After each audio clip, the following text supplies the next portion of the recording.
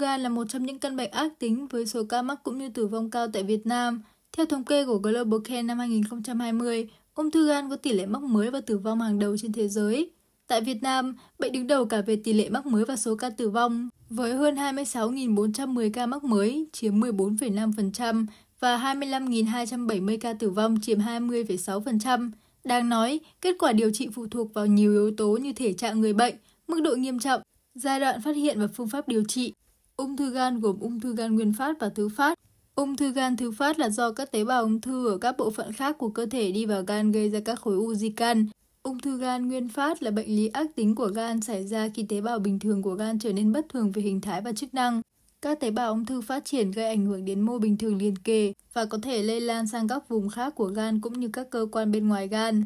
Ung thư gan nguyên phát gồm 3 loại chính, ung thư biểu mô tế bào gan, phát triển từ tế bào gan, ung thư biểu mô đường mật, phát triển từ đường mật trong gan và u nguyên bào gan. Trong đó, ung thư biểu mô tế bào gan là hay gặp nhất. Ung thư có thể là do rối loạn cấu trúc DNA của nhân tế bào, dẫn đến kích hoạt gen sinh ung thư hoặc loại bỏ gen ức chế ung thư.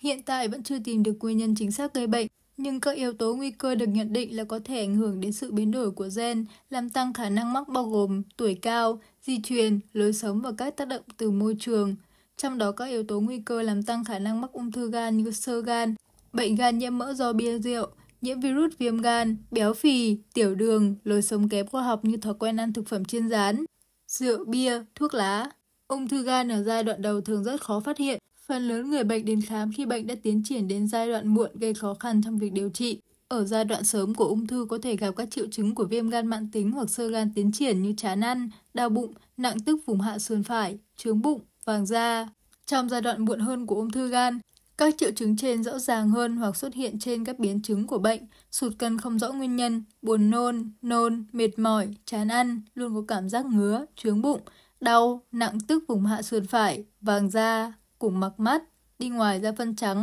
Sau đây là chia sẻ của tiến sĩ bác sĩ Nguyễn Thành Khiêm, Phó trưởng khoa gan mật tụy Bệnh viện Bạch Mai về vấn đề này. Ung thư gan biểu hiện qua từng à, giai đoạn bệnh thì nó cũng sẽ phụ thuộc vào thứ nhất là uh, ung thư là ung thư gan nguyên phát hay là ung thư gan uh, thứ phát.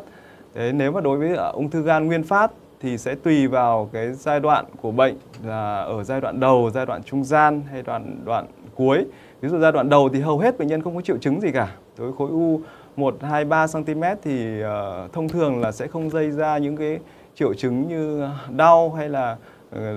biểu hiện những cái thay đổi vào toàn thân. Ví dụ như là gây sút cân. Đấy, đặc biệt chỉ có một số khối u mà nó liên quan đến những cái cấu trúc ví dụ như là đường mật chẳng hạn nó chèn ép vào đường mật thì nó có thể gây giãn đường mật và gây ra vàng da. Thế đến giai đoạn trung gian khi khối u nó to hơn rồi thì lúc đấy cái khối u gan nó có thể gây ra những cái triệu chứng tại chỗ ví dụ như chèn ép vào các cơ quan xung quanh và chèn ép vào cơ hoành rồi ờ, chèn ép vào thành bụng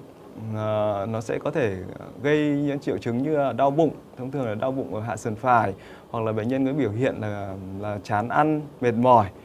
ờ, gây sút cân.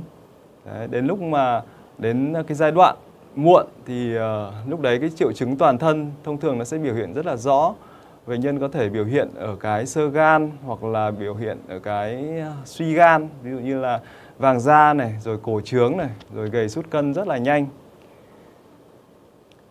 đối còn uh, trong trường hợp mà ung thư gan uh, thứ phát thì nó sẽ phụ thuộc vào triệu chứng của cái cơ quan mà bệnh. Đôi khi mà bệnh nhân ngay cả ở giai đoạn cuối rồi tức là đi khám mà bệnh nhân cũng chưa có triệu chứng gì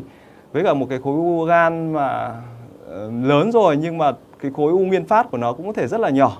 Nên là ờ, cái triệu chứng ngay cả ở giai đoạn cuối cũng có thể rất là mơ hồ và ờ, nếu mà gọi là giai đoạn toàn phát rồi thì bệnh nhân cũng biểu hiện giống như là cái giai đoạn cuối của một cái ung thư gan lúc đấy cũng có thể biểu hiện uh, suy gan hoặc là biểu hiện ở những cái cơ uh, triệu chứng ở những cơ quan uh, nguyên phát ví dụ ở dạ dày biểu hiện đến xuất huyết tiêu hóa hẹp muỗng vị hay ở đại tràng chẳng hạn thì là có thể biểu hiện với một tình trạng tình trạng tắc ruột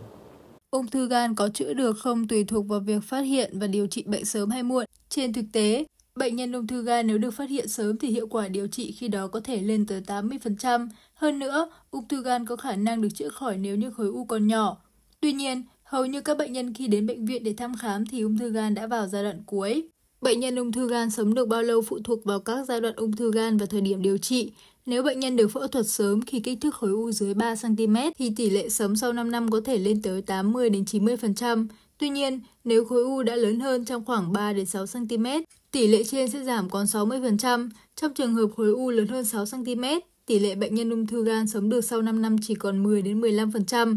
Nếu như kích thước khối u đã lớn hơn 10 cm thì khả năng không thể chữa khỏi được, nhất là khi bệnh nhân đã xuất hiện các triệu chứng vàng da, vàng mắt. Khi đó, mục tiêu điều trị chỉ có thể là kéo dài sự sống và giảm đau. Mình lại nói về cái tỷ lệ chữa khỏi của ung thư gan. Người gan khi người ta nói ung thư gan thì thông thường người ta hay ám chỉ tức là hay mặc định đấy là một cái ung thư nguyên phát của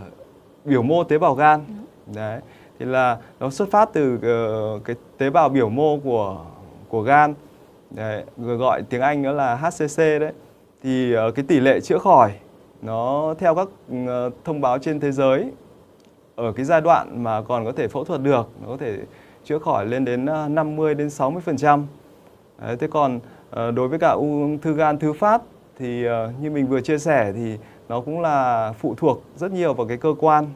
mà di căn đến gan. Ví dụ như ung thư dạ dày, ung thư tụy thì cái tỷ lệ sống thì gần rất là khó đối với cái tỷ lệ sống sau 5 năm có lẽ là là chỉ đến 1 đến 2% thôi. Thế còn đối với ung thư đại tràng và di căn gan đến thời điểm hiện tại thì uh, theo những cái nghiên cứu rất là lớn ở trên thế giới thấy là ung thư gan mà ung thư đại tràng và di căn gan thì tỷ lệ chữa khỏi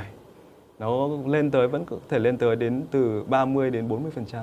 tức dạ là vâng. cái uh, mức độ chữa khỏi cái, uh,